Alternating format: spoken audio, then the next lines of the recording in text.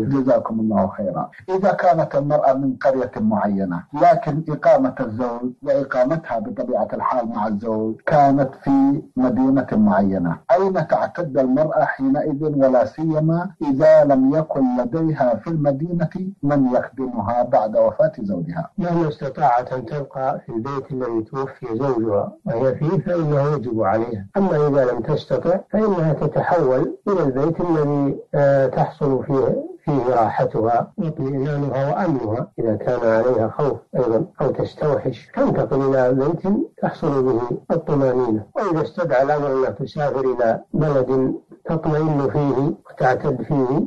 تسافر إليه نعم